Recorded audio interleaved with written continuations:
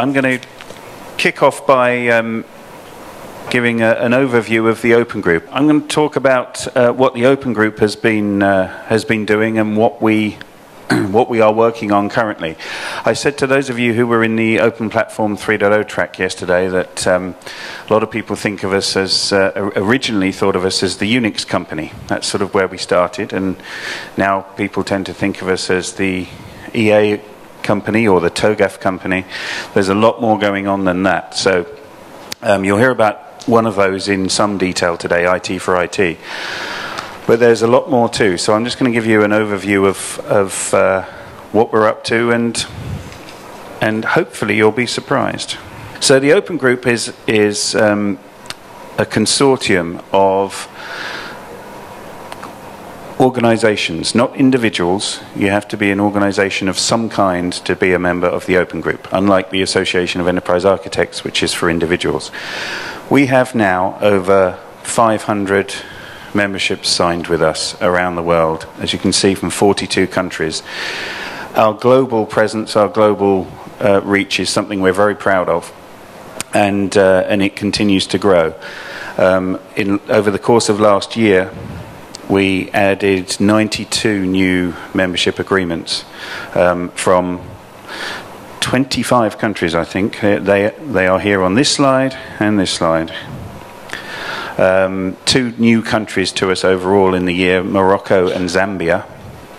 Um, but it's something that uh, is, is something we're very proud of, the, the global nature of it. Um, the organizations that, that joined um, tend to join for a specific area of interest. So the standard um, membership in the Open Group is something called Silver. And that's uh, an area of, of uh, that means that you're a member of one forum, one area of interest. It might be architecture, it might be security, it might be IT for IT.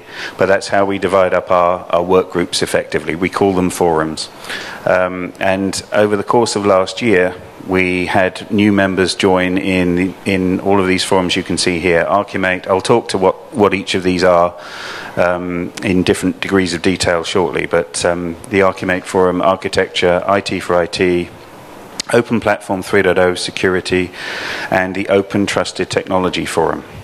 Um, we also had new members in the Healthcare Forum, the Exploration, Mining, Metals and Minerals Group, which is easier to say at the beginning of the day than later. We had some new gold members. Uh, gold membership in the Open Group is where you participate in most of the forum activities um, that we have. So there are one or two that are are not included in gold, but basically it's most of what we do if you're a gold member. And we had a new platinum member in the year, Huawei from uh, China. They they joined us and they've uh, they've brought quite a lot of energy um, and uh, and people and resource into the into the organisation. So the way that that people participate in the open group is um, is, is a number of ways. A lot of our work is done virtually by virtue of the the global spread. Not everyone can get together face to face like we are this morning. Um, so a lot of the work is done virtually, but we do put on a number of face to face events. And um, taking those virtual events and the face to events in total, over the course of last year, had, we had um, 51,000 people attended an open group event um, which is quite a number. The, the cities listed there were the, the cities where we held face to face events, and then we had a number of webinars and podcasts, which are increasingly popular. They allow people who can't travel to the other events to participate. So I'll put the numbers up. Uh, there's only one I'm going to actually refer you to. You can you can read the numbers, but um, we do have an active uh, an active group following our blog. The way that the Open Group blog is, um, has taken off in the last year and a half has been, uh, has been very pleasing to us. Active LinkedIn groups, um, Twitter followers. This is the one I want to really bring your attention to. Nearly 7 million page views on the Open Group website last year. Um, that's quite something for an organization of our size and something we're very proud of. In terms of virtual participation, in WebEx meetings last year, this is, this is, as I say, a way of getting us uh, participation from, from people who can't travel. Um, we had 11,788 person hours. So, to save you doing the math, that's 572 days of effort on WebExes. And if you look at the online collaboration um, activities, um, that's a 47% increase on the previous year. Um, more than 20,000 people participating. Uh, there's a lot going on. Um, I don't expect you to be able to read what those uh, individual bars are on there, um, especially on uh, on this projector, but um, it, it's uh, it's spread across some. There's there's a big bulk that you can see in the middle, sort of a turquoisey colour, depending on what it looks like on your screen. Um, that's the FACE consortium, which I'll talk to in a bit. So, upcoming face to face events, we have our next uh, quarterly event in, in London um, in April. And uh, we have four, uh, four such events during the year, uh, usually two in the US, um, two in Europe, sometimes two US, one Europe, and one um, somewhere else. So, um, but they're, they're set for this year um, as London, Austin, Texas, and Paris. Um, we've got uh, a regional meeting coming up in Japan. Um, we have a, a, a, long track record of participation from Japanese companies in the Open Group, and uh, uh, we have they have some quite uh, quite vibrant local events um, and then Jakarta, Indonesia. We also had representation earlier this week at Pink 16, um, which is, we were there specifically because of IT for IT. Um, and the RSA conference is a big security industry conference that's coming up in San Francisco uh, a week after next, I think. And um, we have a stand there, and uh, members members uh, help us man our our uh, exhibit stand, and um, it's a good uh, good ground for us to tell people what we're doing in the security space. So. One of the things we're known for, obviously, is enterprise architecture, um, TOGAF specifically. So the two jewels in the crown are TOGAF and Archimate. Um, I'll, I'll come to Archimate in a moment, but um, TOGAF a big part of the growth is around certification. And last year we, we uh, exceeded 50,000 individuals around the world are now certified in TOGAF 9. There, were, there was a um, certification program for TOGAF 8 too, but this is just TOGAF 9, more than 50,000 now. Um, and there's a whole ecosystem around this. and um, our sponsors out, outside uh, Panastra and SNA Technologies are two of those organizations who help build that number through their training, um, and uh, it, it's, it's a wonderful um, community.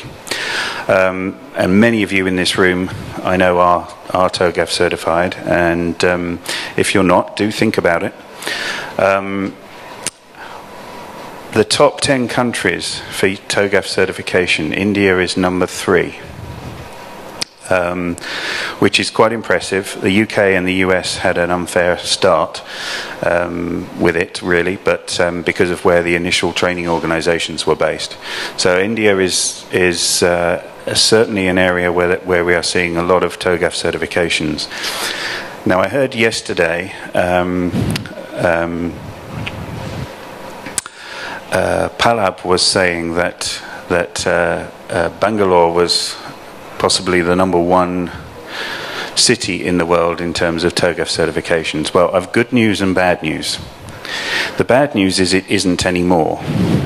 Um, but the good news is if you look at the top 10, four of them are in India. So, well done to all of you. Um, that really is really is quite something. So uh, thank you for that. Um, it's really it's really very impressive. So we expect um, we expect that to we actually expect that to continue, um, and the places may even change. I'm still not quite sure why London is number one, but apparently it is. So. Um, also, I said about 50,000 uh, certifications. We had more than 80, well, 81,500 downloads of TOGAF uh, related materials last year from 166 different countries, and more than 15,000 TOGAF books were sold. There's a big interest in TOGAF, a big community. So why is that? Well, here are some of the things that, that we hear. Um, and the one, I'll, I'll, let you read the slide, but the, the one that I would call out myself is it provides, apart from anything else, it provides a common language. It provides a way for people to communicate when they're going about enterprise architecture in a consistent way. And that saves a lot of time, a lot of heartache, and um, can really help, really help the EA project get off the ground. 80% of large businesses use TOGAF. It depends which businesses you look at, but when you look at things like the Forbes 100, the, the uh, Global 500, it's, it's used just about everywhere um, and widely adopted by governments. So, on the government point, we spent a lot of time yesterday talking about governments. Uh, does anyone remember who the number one ranked government in the world was from an e-government point of view? From Korea, absolutely. And here's something to back that up. Um, Pallab actually had uh, 2014 statistics yesterday, but um, it was the same in 2010, 2012, and again in 2014. Um, undisputed e-government leader. And we would say part of the reason that is, is they are using TOGAF. If you look at this is the this is a few charts from the South Korea government-wide enterprise architecture. They have taken TOGAF and they have created what works for them, which is the key message about TOGAF. You don't try and ingest all 800 pages of it and follow it slavishly. Adapt it for what works for your organization, and in this case, what works for the Korean government. Um, but it's very, very recognizable. We have lots of other examples of this kind of thing going on. Um, uh, South Africa is another one. They've got something very similar, government-wide enterprise architecture based very closely on TOGAF. Um, Canada, all federal government projects use TOGAF for enterprise architecture. They have a direct link to our website on their on the Canadian government intranet. Um, actively encourage people to use it. Same for Finland. The UK is a, is a bit mixed in terms of the government, but there are some some ministries, some departments where it's very strong. And the quote there is from the um, uh, HM Revenue and Customs. Um, they they basically have adopted TOGAF, as has the the biggest department um, in the UK government, which is the Department of Works and Pensions.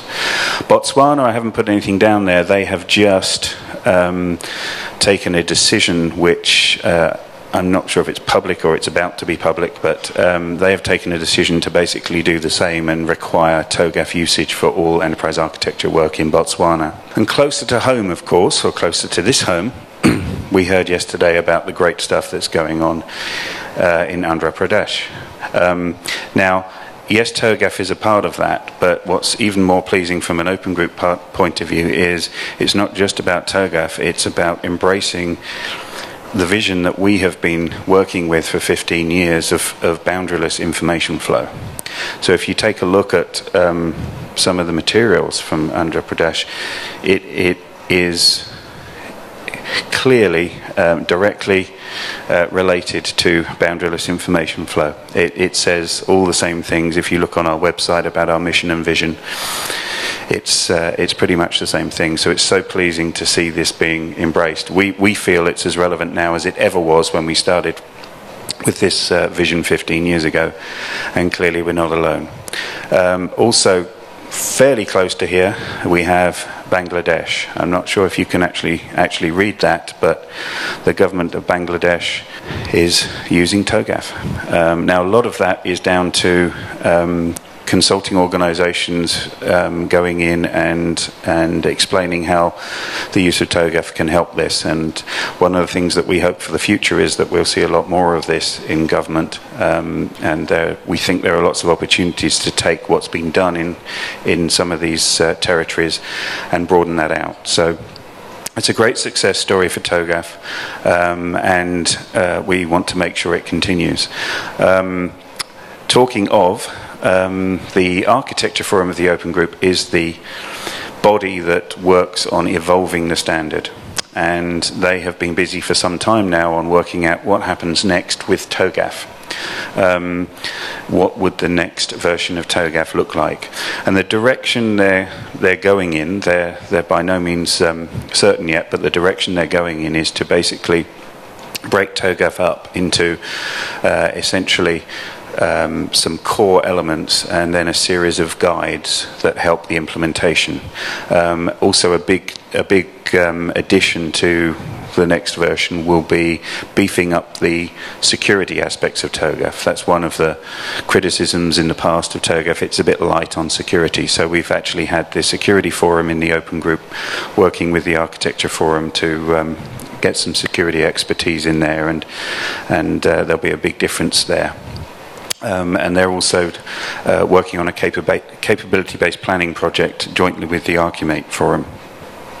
Talking of Archimate, Archimate is that's the Wikipedia definition that you probably can't read, but basically it's a modeling language for doing enterprise architecture, is how I would say it.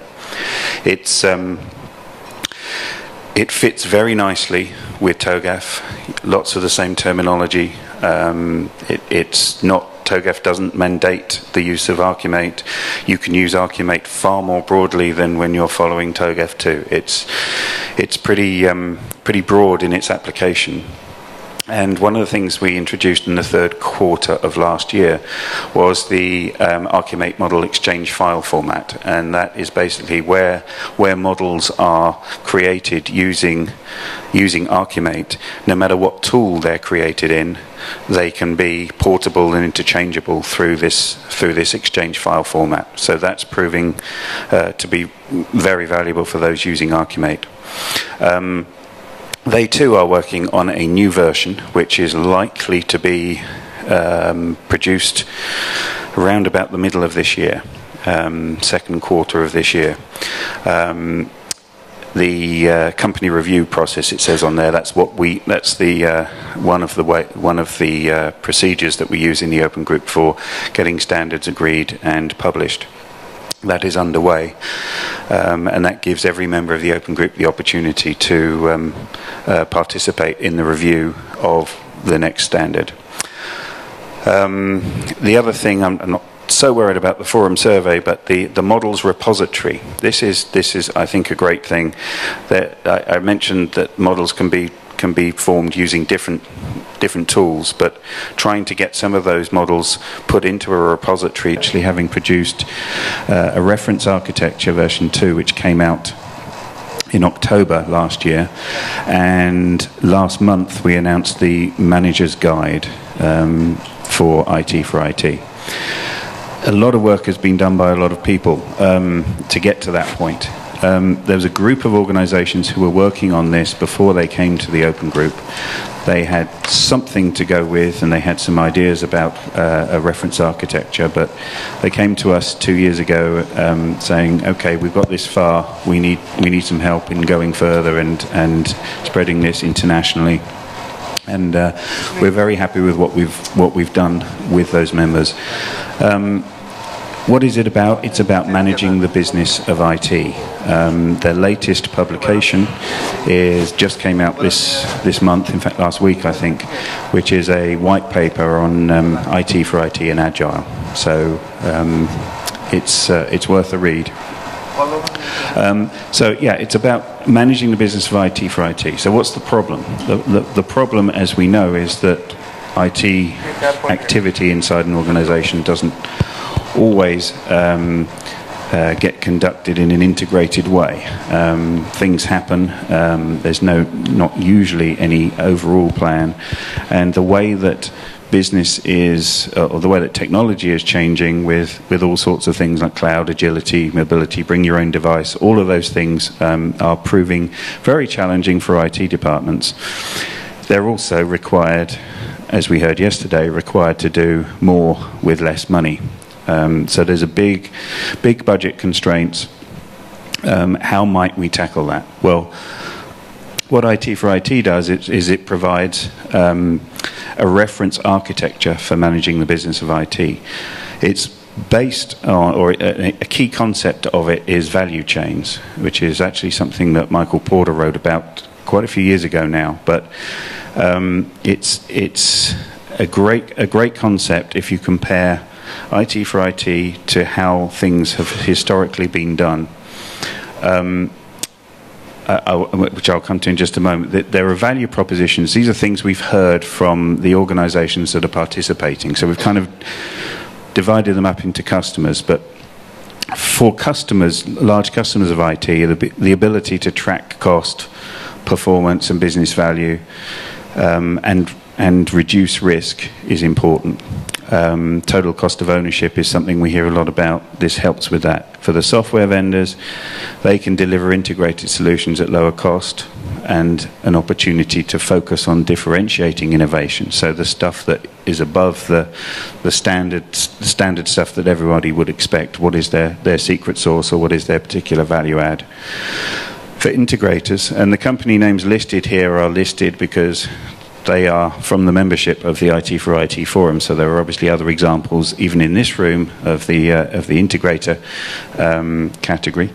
Um, but there are there are. I'll let you, you you read those. But what I really want to say about it, because you'll hear from experts on it later um, more than me, um, the organisations building it um, are pretty widespread. Those custom, those customer groups, the service providers and consultants, and the vendors come together nicely to to um, give a, a different uh, set of perspectives and really help bring value to the standard. Um, uh, there are some great, I mean, if I were to pick one customer out from, from the list, it would be Shell. Um, if you go to the Open Group website, um, there are some great presentations um, from Shell employees on what the value is to them. They have embraced it absolutely completely and um, and continue to do so.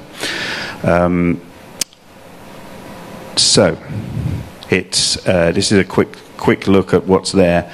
Um, the value chain concept, uh, the next slide will say a bit more about that, but it, it basically takes us from the why to the what, and then the reference architecture takes us from the what to the how.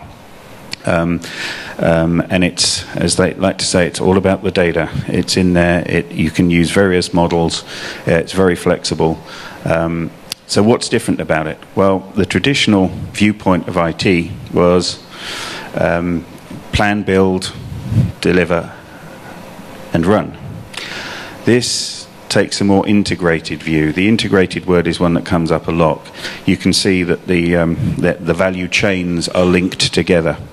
Um, so the value chains there, uh, the four basic value chains are strategy to portfolio, which is really about, in IT terms, making sure that the right investments are made. And then requirement um, to deploy is about um, it, it, in It's uh, the way the way I describe it is it, it's about creating and maintaining quality um, delivery in the IT department. Um, the request uh, to fulfill is about IT having having a catalogue so that they know that, that service delivery can can be performed in a, in an organised way, um, and uh, detect to correct is basically maintaining it as things come up. They need, you know, the shop needs to keep running, and that's really what that aspect is. So you'll hear more about that from uh, people more technical than me, but it's uh, it's a great a, a, great approach, a great way of looking at it, and there are people who've already used it uh, for real, um, who have some some great case studies to tell. Um, this is the release trend. This is how we got to where we were, how where we are. Um, the January 2013 date um, was was when they really came to the Open Group, and uh, we created a forum around that. Uh, it's a very active group, very busy group, and they are uh, constantly working on evolving it, uh, making it more usable, um, and uh, and spreading the word. A quote from Gartner, um, again, I'll let you read it, but the important bit is down the bottom. Um, Gartner estimates that for a 1 billion per annum IT function, the benefit of using IT for IT could be saving of 5 to 20% of the total budget. So it's not to be sneezed at. Where it fits in the overall IT uh, landscape, um, it's pretty broad. Uh, it's pretty broad application. Um, it it uh, it doesn't replace ITIL. Is one of the questions we get asked a lot. It doesn't replace ITIL. It's it's uh, compatible with it as it is with using TOGAF, with it as it is with various other um, uh, frameworks and and uh, methods that you might be using pretty broad application. So I'll switch from IT for IT. As I say, we'll hear more about that. Um, Open Platform 3.0. This is about the convergence of some of the uh, technologies that we've seen coming at us over the last few years uh, mobile, big data, Internet of Things, bring your own device, as I said, cloud, SOA. Um, what does that mean for the for the platform? What does that mean for a digital business? Um, all of this stuff is is great if you can take advantage of it, but it's also really threatening if you can't. Um, so, uh, finding what, what, we're trying to do in the in the forum is to find um, a platform. What is the platform that that this stuff can operate on? Um, maybe not the exclusive platform, but what can we bring together um, to uh, uh, assist or enable organizations to take advantage of the opportunities that these technologies offer um, and transform their businesses accordingly. Um, so it, they're working on effectively building blocks for the digital, um, digital IT or digital business, um, and uh, architectural patterns. Um, one of the one of the obvious things that, that an organisation inside the Open Group will, will look at is okay, how can we leverage the architecture expertise in the in the organisation in the membership? Um, so taking a look at, at some of the architecture patterns for what that that third platform might be is important. And we have history with um, with platforms. As I said at the beginning, we started with with Unix and uh, and brought the various flavors of Unix together in a single Unix specification. Um, and one of the things we're doing is trying to learn from previous platforms when we are when we are looking thinking about what the third platform might be.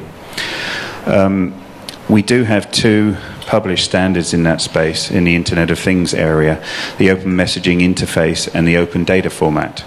Um, there's a quote there that I hope you can read, but um, uh, this was from a, a, a, professor in, in Finland who, who says that, that together these standards can do for the Internet of Things what HTTP and HTML did for the Internet. So let's hope he's right. There's more. There's much more to be done in this space, but um, we do have a good start. They do have a, um, a, snapshot of what the first version of the open platform might be. A snapshot in open group terms is is a is when something is published saying this is the direction that the standard looks to be going in, and it and we look for feedback from the community as to uh, is this the right direction? What have we got right? What have we got wrong? One of the new activities in this space is the Digital Business Strategy and Customer Experience Workgroup. And uh, uh, this is something that, uh, that our, our new platinum member I mentioned, Huawei, are, are driving quite hard. They come from a, a telco background, um, still obviously very active in the telco, but they are looking to bring some of the work that they've done in, in changing the customer experience in that industry to other industries by working with, with partners there in, in different industries. Um, the other thing I'd pick out from there was uh, there's a business data lake fast track going through right now. We heard in the in the track yesterday, those of you who were there, about business data lakes um, and what a data lake is, and we have a, a, a, starting point for what that might be in open group terms. Um, going through review during during the process at the moment, it's actually being contributed as a starting point by Capgemini. Um, so uh, that's uh, a lot of activity there as well, and a, a broad scope. Um, other forum activity. Uh, I mentioned Open Trusted Technology Forum. They are focused on mitigating the risk of maliciously tainted and counterfeit products in the supply chain. So, what they have worked on to date is a standard um, and an and accreditation program which enables vendors to to make a statement, public statement, um, accredit their their um, product line, saying we know where every part of this um, every component in, in this product line comes from, and we're we're absolutely certain that it's not tainted, malicious, etc. And if it is, uh, if it proves to be, then then we'll we'll fix things um, much along the same lines as as Unix certification has been in the Open Group for a long time. Um, so it's quite it, it, it's it's very interesting to government, of course. It's very interesting to anyone that buys a lot of um, a lot of uh, IT or a lot of systems. And in fact, we're, we're proud that it's just become a, a formal ISO standard. So the Open Group has a, has a status um, with ISO, PAS status, that allows us to take some of our standards, submit them to ISO on a sort of fast track basis. So that's now a formal ISO standard. Um, and what that group is working on, um, IBM were the first to step up to the accreditation program. And uh, their case study on how they did that and the benefits to them and what they learned along the way uh, is underway. That's what uh, one of the things that they're working on, as well as a white paper. And for those of you, if any, who are involved in uh, with any any um, cybersecurity NIST stuff in the US. Um, there's an implementation implementation guide that they're working on there. Um, so that's OTTF. Um, the Security Forum. Security Forum's had a long history in the Open Group. Um, we've done various things. Their recent focus, I would say, for the last couple of years has been more on risk um, than, than broader security. Um, uh, they are also, as I say, uh, working with the Architecture Forum on the security aspects of the next version of TOGAF, but uh, a lot of the focus has been on risk. And in there, they've, they've created um, something called Open Fair. Um, it's based on, um, well, I'll, I'll, come to that in just a moment. Um, Open Fair is basically uh, based on two, uh, two standards. Um, we also have OISM3, which is a framework for managing information security. There are some interesting case studies on using that in particularly the financial services world, some of the banks. So Open Fair is based on um, two, uh, two standards. Um, it's a certification of people program, somewhat like TOGAF and Archimate, and it's based on uh, uh, the body of knowledge for that is two standards: the open risk tax taxonomy and the open risk analysis. And um, I know those of you who were at our Open Group event in Bangalore last year heard a presentation on that by uh, by Bill Estrem, um, and that is one that we need to. Uh, it, it's it's very broadly um, applicable um, is, is probably a good way of putting it. The, some of the early interest has been in insurance companies and um, financial services organizations. Um, some of them in the US in particular are training their people in this and um, uh, inter- interestingly, my son is also um, using it at his uh, university on his university course, um, which was uh, something new. Um, other forums, Open Real Time and Embedded Systems Forum, they do a lot of work, particularly in the military space and the government space.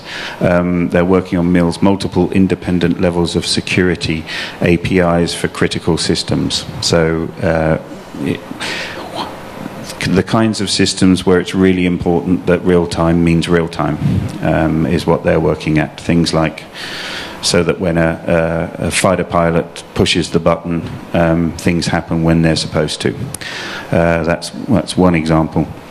And the Open Group Base work group is around the single Unix specification. That's a, uh, an activity that, that uh, evolves that specification gradually um, in conjunction with ISO and IEEE. Um, so, industry verticals, that's also something that we have. Um, the Healthcare Forum, um, they have been doing a lot of work on what the healthcare landscape is. Um, there's obviously a lot of potential uh, efficiency opportunities in the healthcare industry around around the world, and uh, they are looking at how some kind of standardization can uh, can help achieve some of those things. So they've taken a look at the the landscape um, so far of what the healthcare industry is on an international basis. Uh, face I'll come to in just a moment, and then the other one that's uh, a vertical is the Exploration, Mining, Metals and Minerals Forum. They have a uh, a very well thought of uh, reference architecture for that industry. Um, and I think it's actually probably something that is a good starting point for reference architectures for other industries. We just haven't gone there quite yet. David's nodding, I see. Um, so the FACE Consortium. Um, this is about um, this is about avionics. Um, this uh, traditionally avionics, um, particularly military avionics, they are designed by by large parts of them at least are designed by one organization. You ha- you basically have a giant system that you buy from from one uh, major supplier. They may have obviously had contributions to that system from other organizations but basically you get tied in from a customer point of view. Um, think of a Department of Defense, for example, customer point of view, you get tied into certain um, ways of doing things with certain suppliers. What FACE is about is really um, providing a common environment for uh, avionics systems. Um, in my words, the, the cockpit of the future is is a good way of looking at it.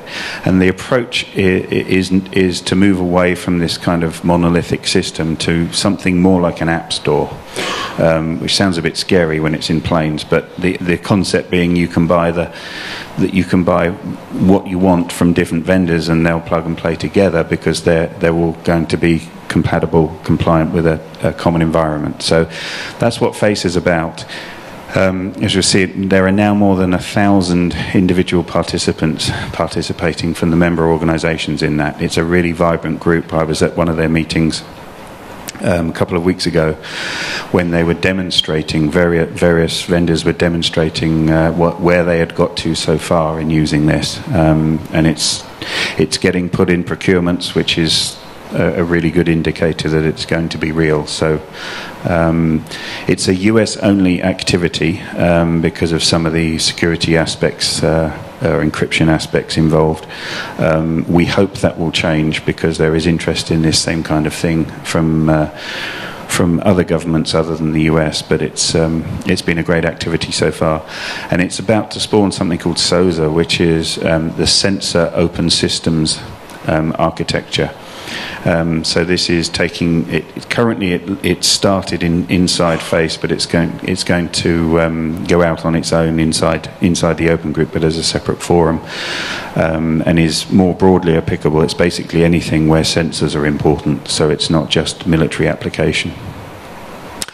And then lastly, I started by mentioning Unix. Um, first time for a, quite a long time, there is considerable interest and effort and, and real activity from the Unix system vendors to rejuvenate uh, the Unix standard and the Unix brand. Um, it's sort of reached a point where there's Unix and Linux, and some people think Unix is old and Linux is new, and the reality is that they're so so close together that that isn't necessarily the case. But so we're going to put some effort in, or are putting some effort into um, some work in, in Unix and uh, you know uh, extolling the virtues, what it's all about. Um, and uh, it's pleasing to see we've had a number of attempts at doing this over the over the years that I've been with the organisation, and they've always crashed on the rock of the product marketing people inside the individual organisations because they'd rather promote their own versions spend their money on promoting their own versions rather than the commonality. There seems to be a sense now that it's time to promote the commonality as well. So uh, that's potentially quite exciting for us. And a final thought. Uh, this is a quote that uh, some of you may have seen before, but um, have a choice. You can either create your own future or become the victim of a future that somebody else creates for you. Um, a call to action of participation. Um, many of you are, are here from member organisations of the Open Group, and uh, we'd love you to uh, to participate um, actively if you don't already. And for those of you who aren't members, then uh, hopefully you've got a sense of some of the things that are going on that might uh, entice you to join us. So. That's all I have to say. Um, happy to take any questions if there, if there are any. There's one question over this table here, James. Sorry, could you repeat? UML question? standard and Archimate standard. UML and Archimate. Archimate is is sort of at a higher level than than UML. They're, they're not mutually exclusive. They can be used with each other. In fact, there's a white paper on using them, uh, using them together. But UML tends to take you down much deeper uh, when you're using it. And for me, um, with with my non-technical background, if I look at UML um, diagrams and models, uh, they don't mean anything to me. Uh, if I look at an Archimate thing, it's at a level that I can I can comprehend. Um, so it's it's a question of different levels, really. Um, they are, I mean, they don't even look the same, but they you can use them together, and people do use them together.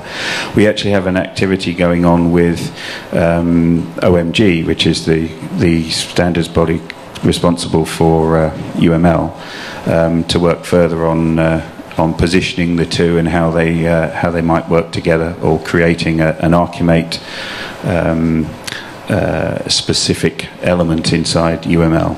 So there. But there, there, is a, there is a white paper on our website about uh, how they can be used together. Any more? Hi, Steve. Uh, here. Ah. Uh, thank you for that uh, comprehensive overview. Uh, my question is on Archimate as well. Uh, what tools do you recommend uh, for you know using Archimate? And Sweet. currently we are using a tool Archi. Uh, but uh, there is a problem. It is, you know, when teams work together using Archi, they are not able to share uh, the models or version control or, uh, you know, reuse things like a system architecture, right? So, w- is there are there any uh, work going on in creating a more comprehensive tool for Archimate? Uh, yes, yes, there is. Um, we um, Archi's there to. I mean, it's an open source. It's you know you, you can take it, you can use it, and it's a, it's a good starting point. But obviously, it does have its uh, its limitations. Um, what we can't do as the open group, because neutrality is our is our most important word, really. Um, we can't recommend particular tools from particular vendors, but what I can tell you is we do have a um, certification program for Archimate tools. So we would point you to the register of Archimate tools um, and say all of those have stepped up to be um, to be certified by us. Um, so uh, pick from them. Okay. But there are individuals here I know who could probably give you exp- uh, uh, give you a, um, their experience of using various different tools. But, um, but I, I can't point you to one, I'm afraid. Okay, thanks. Uh, my question was also on Archimate. Yes. I'm sorry. There's a bright light. Ah, there Yeah, we go. fine. Right, gotcha. So where the where we found the overlap in the Archimate is the BMM business motivation model and the BPMN notations. Right. Is there any work done to make this notation seamlessly work together? Is there any roadmap on that? Uh, there is um, a cooperative project with um, uh, with OMG, as I mentioned, about uh, bringing the two closer together, or at least making it easier to use the two. Um, I can't give you a, a roadmap or a timeline for that, um, but if you see me afterwards, I can put you in touch with the the people who might be able to do that. Um, I know there is activity there. It's just there there are um, so many things they're trying to deal with at the same time. It's a question of which one they uh, they spend time on. So I think there was one one more. Yeah. Making you work, James. He's quicker. He's he's, he's running. Yeah. Uh, what visible benefits are seen after TOGAF certification? Sorry, what? What visible benefits are seen in the industry after TOGAF certifications? Um, so where would you go after TOGAF certification? What would Yeah, the, what visible benefits are seen in the industry? Basically, after TOGAF certification, you said that Bangalore or uh, Hyderabad are having more number of TOGAF certified, TOGAF certified persons. So, uh, what are the visible benefits seen in the industry as such? Do you want me to respond to that? yes. Um, I think one of, one of, one of the reasons why um, India is very high on the list for TOGAF certifications is because the customers of the companies they work for are demanding architects who are certified. Um, there's a big demand, particularly currently in the Western markets, from both government and commercial customers uh, for TOGAF certified people. Um, so that, that's basically the, the virtuous circle. And um, you'd have heard yesterday uh, the amount of work that's now going on in India. Uh, there's increasing demand within India also for, for enterprise architects and for TOGAF certification. Um, there's a, a, a useful survey that's done every quarter by a company called um, Foote. The Foote The Report. Foote Report, F O O T E. They do a US um, quarterly salary survey um, against certifications. You'll find TOGAF is pretty much near the top. Um, it's sort of second only to OpenCA. Uh, so there's basically for the individual, particularly if you're in the US, you earn more money. Um, that may or may not be true in this country because there's no surveys, I don't know, but it, there's, there's increasing demand worldwide, which is what's driving the people to do it, because there's increasing demand for enterprise architects, and currently TOGAF is the most common, it's the de facto standard that people are using as their method, um, so it has that direct benefit both to the employers and to the individuals who achieve certification. So it's a good thing. Next, any more questions? Hi. One more. Hi, Steve. So my question is, Open Platform 3.0, I understand, has uh, an offshoot which is open public sector data. Uh, I know there's a business scenario and a white paper that was published on your website. Uh, could you throw some light on what's happening on that front, the open public sector data front? Is there something that you're taking beyond just that business scenario that you've documented? Uh, to be honest, I'm not aware of anything going beyond beyond that. What the what the forum has done is taken a, a look at a number of different industries, um, a number of different use cases. I think 21 they've done so far, um, and some of them have, res- have resulted in white papers. Um, when they've when they've kind of gone through that stage, it's then okay, which of these are we going to focus on next to go through and and um, uh, and do more on? So right now, I'm not aware of anything specific in that in that space, but. Um, uh, the way it works is if there's an interest in the forum in diving down further into that into that group, then that's going to happen rather than another industry. So it really depends on where the interest of the members in the forum are. So So, as an extension to that, as a practitioner and someone who's passionate about open data, is there any way that one could engage with that forum that you just mentioned? Uh, how would you really go about engaging with that forum and the members out there? Um, well, um, uh, it basically means um, being a member of the Open Platform Forum Yeah. uh, and then participating in the. Uh, Yeah, in- in and those- since since I understand And- IBM is one of your platinum members out there, I, right. I would have thought it should not be so much of a challenge getting to interact with that forum and probably contributing to what is what is to be done on that front of the public sector data. Absolutely, it shouldn't be. A, it shouldn't be a challenge. So, is your is your challenge that, that things happen in the wrong time zones or everything's it's- remote? the or- challenge is more about the fact that I do not know how to go about it in Ah. approaching that forum, getting getting that going with them. Well, as a as a platinum member, uh, all all employees of platinum members are able to go into our system and subscribe to the relevant forums of their choice through our system. Um, so you you you can do that um, yourself. Um, I suggest to fast track that process. We might talk afterwards, and I can put you in. I can then put you in direct touch with the forum director, Chris Harding, and he'll he'll be able to uh, guide you through that. Yeah, thanks, thanks a lot. You're welcome. M- My suggestion is try it online now. If you fail to do it by the coffee break, uh, we'll help you out. But I, I'll do an introduction to Chris anyway, because uh, that will uh, that will help you uh, make sure that you're with the right people. Uh, hi Steve, I have one question. Okay. Uh, as an open group, uh, when we say enterprise architecture, now nowadays the definition of the enterprise is moving from the large scale to the small scale. There are a lot of startups. Now when we say TOGAF certified architect, we are reachable to the only enterprise architect like a MNC level. Now most of the startups want to adopt these uh, standards, but the reachability is very less.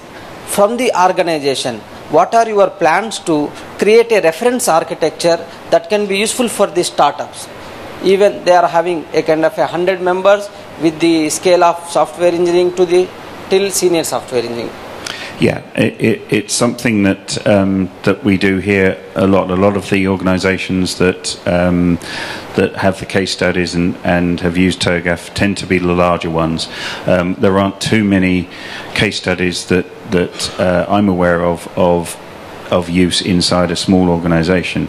Um, one that I am aware of is is actually one we did ourselves inside the Open Group. Uh, I was personally involved in that um, a few years ago, um, where we we tried to well we didn't just try we did put ourselves in the shoes of a small organization which is what we are in terms of staff um, and say okay we don't have an architecture team. How do we go about implementing TOGAF? Um, so there is a white paper on that published that, that I would refer you to on the website. In terms of a reference architecture for startups um, it's a great it's a great idea. Um, it's a question of uh, the resource in the forum to to do that. They're focused on the next version of TOGAF, but that may be very good input into maybe that's something that should be there in the guides. How do you? Maybe there should be a guide for small. There is, there is I know talk of uh, of a guide already for small and medium sized enterprises using TOGAF. Um, I'm not aware of a specific activity to create a reference architecture. Um, it's really a question of what what the members in the forum want to do. We can we can suggest it certainly. We can. Uh, uh, tell them we think it would be a good thing, but they're the ones that would need to create it. Um, uh, the other thing I would say is, uh, whilst it's far from a startup organization, um, one of the most fascinating examples of taking TOGAF when they hadn't even heard of it and using it is BAE Systems. Um, these are the people that produce submarines in the UK. Um, we had a great presentation, a series of presentations from them at our London event last year. Um, somebody came in and said, "You need to go look at this TOGAF thing," and uh, they did. And they they knew nothing about enterprise architecture, never even heard the words, um, but uh, went in, looked at TOGAF, um, and as they describe it, they took out a black pen and they deleted because they didn't understand it they deleted every word that had more than three syllables in TOGAF. And what they were left with was something that, ah, this could be useful. This could actually really help us. Um, and what they've, so they, they really didn't have the expertise, they didn't have training, they weren't certified. They're now a, lot more mature in their use of it, and they've they have got people trained. But but to get going, they took the pocket guide to TOGAF, and that's that's what they went through and tried to make sense of it for their own organisation. So, uh, as I say, they're far from a startup organization, but in terms of enterprise architecture maturity, they really were starting from, from the ground, and they had a very small team. There were two people working on this, um, and then they, uh, they broadened it out. But um, it's a great case study, and there are um, a series of presentations on the website that might, might be of interest or might give you some ideas. Um, but in terms of uh, in terms of a you know specific reference architecture, um, we don't have we don't have a specific plan for one for, for startups, but um, it certainly seems like a good idea, or certainly some guidance on uh, on using TOGAF inside a small organisation. And, um, and, and so may, I, may I suggest that Infosys, as a member of the Architecture Forum, could create an activity to create to build some reference architecture Absolutely. for small business. Yes.